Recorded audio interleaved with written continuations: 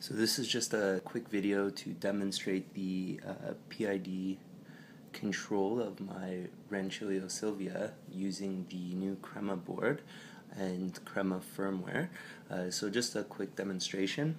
You can see I put the uh, the display module down here so that you can uh, watch the, the display as the shots are being brewed.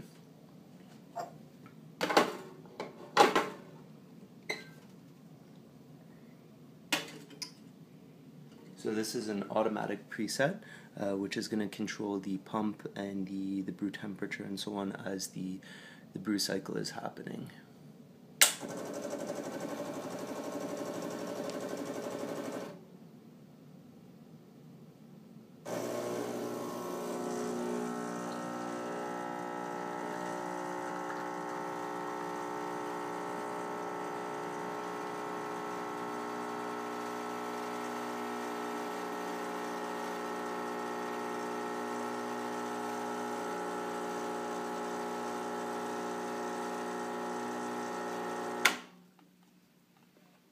So that's